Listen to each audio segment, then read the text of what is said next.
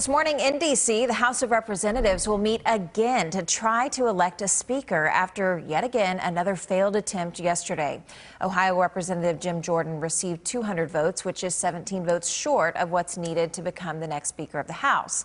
Meantime, the Senate is working on a bipartisan bill to help Israel, but the measure won't go far until there's a speaker elected.